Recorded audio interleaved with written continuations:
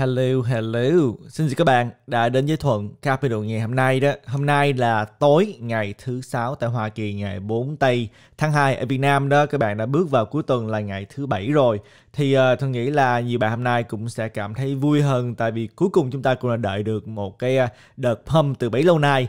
Các bạn đã thấy trên màn hình đó, thì giá cả của BTC bây giờ đó đã tăng lên qua khỏi 40.000 đô, thậm chí bây giờ đó đã gần tới cái mức cái tay 2 tới đồng hồ đó đã gần tới mức là 42.000 đô, bây giờ là 331 đô. Thì hôm nay Thuận sẽ chia sẻ một số những thông tin nổi bật với các bạn để các bạn có thể nắm được một số thông tin trước khi chúng ta bước vào cuối tuần. Thì đầu tiên hết hôm nay là cái thông tin mà lớn nhất Thuận nghĩ là đối với thị trường tài chính nói chung đó, chúng ta sẽ nói tới cái thông tin liên quan tới cái à, báo cáo, cái tài liệu liên quan tới việc làm đến từ cái à, bộ thống kê lao động. Thì à, chúng ta thấy là hồi sáng này đó đây là tài liệu được chia sẻ đó là khoảng chừng 467.000 công việc làm mới đã có trong tháng 1 mới đây. Đây là một cái thông tin rất là tốt, tại vì các bạn đã thấy đó là những người dự đoán ở Forward đó, thì họ dự đoán là tổng số việc làm của tháng 1 đó chỉ khoảng chừng là 150.000 việc làm mà thôi. Nhưng mà thống kê lên tới 467.000 có nghĩa là cái thống kê cao hơn cái chuẩn đoán rất là nhiều. Có nghĩa là đây là một dấu hiệu cho thấy là thị trường việc làm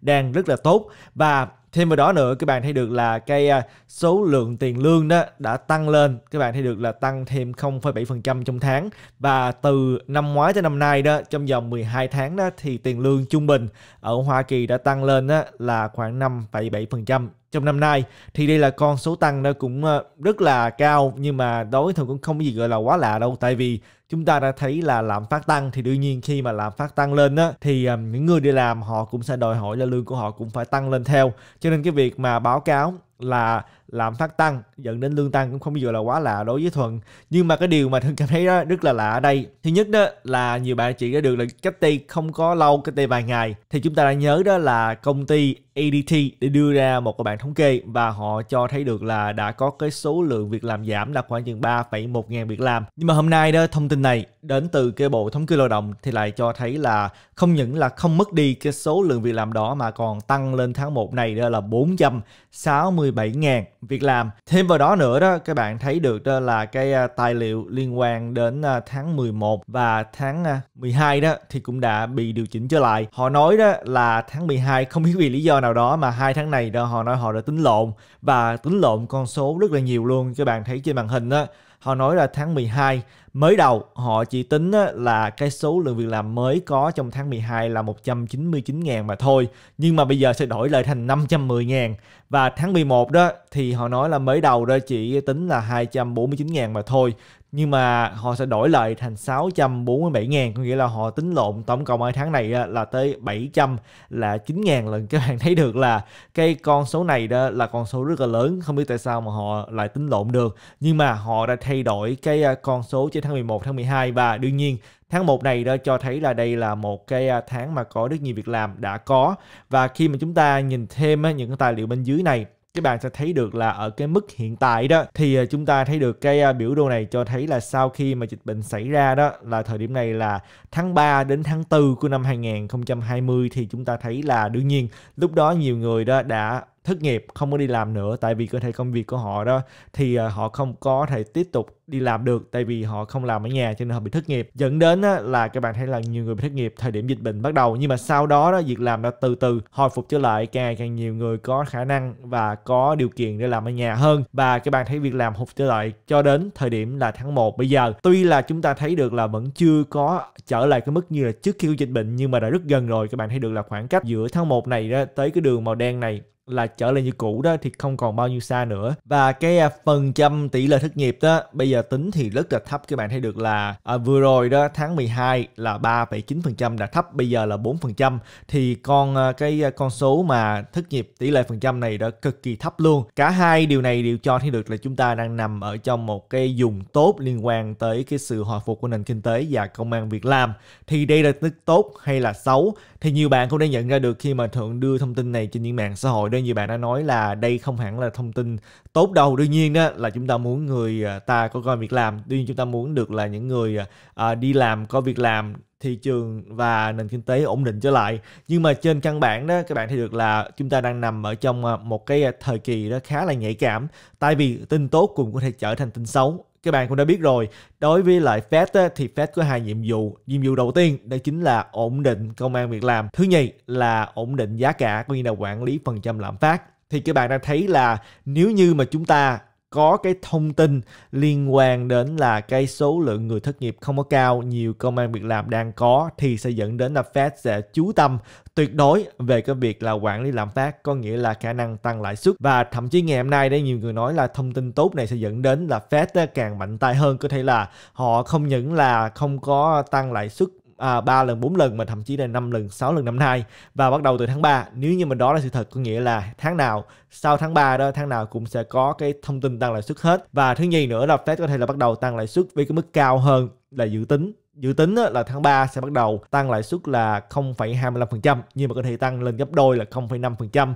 Những thông tin này đó đều là không tốt đối với thị trường à, tài chính. Các bạn thấy được là sau khi mà cái thông tin liên quan đến cái à, số lượng à, người mà có việc làm đó thì các bạn thấy là sau đó, đó những cái chỉ số chứng khoán đã chuyển qua màu đỏ. Tối ngày hôm qua đó sau khi mà thị trường tài chính đóng cửa các bạn đã nhớ là chúng ta nhìn vào những cái à, chỉ số đó là đang là màu xanh tại vì chúng ta có thông tin tốt đến từ công ty Snap nghĩa là cái ứng dụng à, Snapchat và cái à, thu nhập của công ty Amazon đã tăng lên. Nhưng mà phần lớn công ty Amazon đã có thu nhập tăng lên tại vì à, chúng ta thấy được là một phần là tại vì họ đầu tư vào công ty làm xe điện Rivian. Và công ty đó đó dẫn đến là cổ phần của Amazon cũng tăng lên theo tại vì đó là một công ty mà cũng có cái sự chuyển biến tốt. Nhưng mà các bạn thấy khi mà chúng ta nhìn vào tài liệu này được tung ra hồi sáng này đó thì sau đó à, chúng ta thấy được là thị trường lại chuyển sang màu đỏ. Đây là cái à, chỉ số Nasdaq. Nhưng mà sau khi chuyển sang màu đỏ một thời gian đó mọi người sau khi đã nhận được thông tin liên quan tới có nhiều việc làm và những cái suy nghĩ liên quan tới điều này ảnh hưởng như thế nào đó với lãi suất đó thì à, thị trường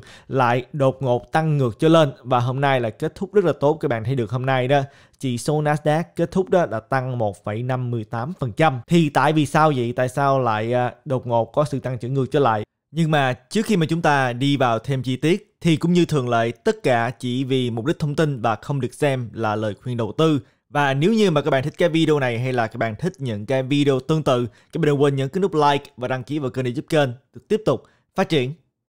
Đồng hành cùng chúng ta trong video ngày hôm nay đó đó chính là Coin98 Wallet đây là cái ví tiền mã hóa multi chain như là đa chuỗi đó giúp các bạn có thể lưu trữ coin token trên hơn 30 blockchain khác nhau mà chỉ với một cái passphrase duy nhất mà thôi. Ngay trên cái ví Coin 98 đó các bạn có thể swap, mua bán token một cách nhanh chóng, tiện lợi và các bạn còn được tặng điểm thưởng mỗi lần mà các bạn swap.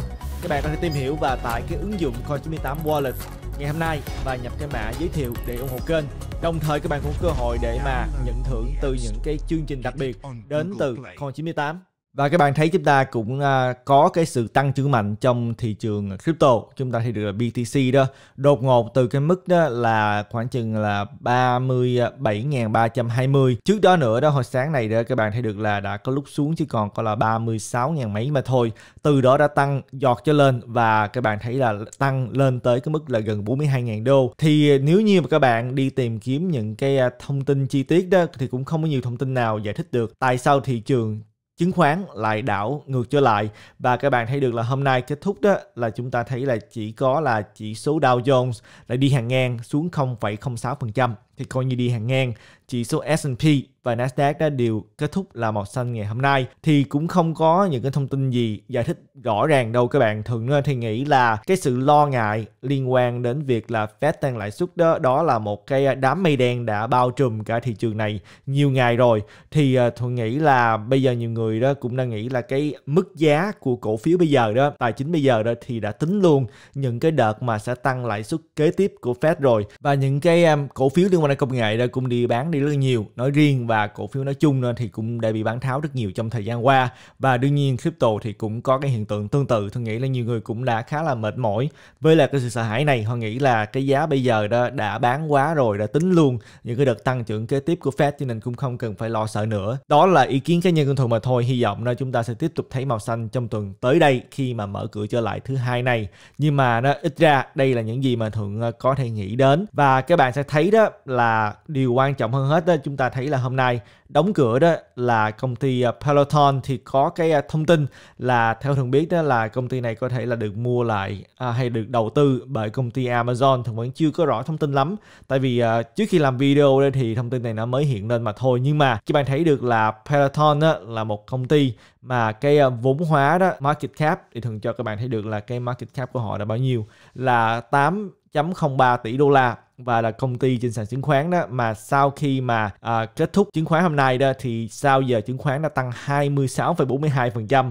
Chúng ta nhìn vào những cái à, cổ phiếu mà tăng ngày hôm nay đi. Giống như là các bạn thấy được là hôm qua chúng ta cũng đã biết là hôm nay có thể là một ngày rất tốt đối với lại à, Snapchat rồi. Thì à, công ty Snap đó các bạn sẽ thấy được là hôm nay có cái sự tăng trưởng trong cái à, giờ chứng khoán là 58,82% trong một ngày. Những gì mình thường đang nói với các bạn đó là tăng trưởng trong giờ một ngày mà thôi. À, chúng ta có thể nhìn vào à, công ty Amazon đi. Amazon là một công ty đó vốn hóa rất là cao. Khi mà chúng ta nhìn vào cổ phiếu của Amazon thì tổng số vốn hóa của Amazon á là 1,6 nghìn tỷ. Mà các bạn thấy được là cổ phiếu của Amazon vẫn có thể tăng 13% trong vòng một ngày. Cho nên các bạn đã thấy được rồi những cái à, công ty đó mà có số lượng vốn hóa lớn như vậy đó còn có thể tăng 13% trên một ngày. Chứ đừng nói tới là chúng ta nói về Bitcoin hay là bất cứ một cái à, đồng nào trong thị trường crypto nhỏ bé này. Nhưng mà chúng ta thấy một điều đó là thứ nhất là các bạn đã thấy được là cái số lượng tăng trưởng này nó rất là kinh khủng. Có thể nói được là cái sự dao động gần đây đó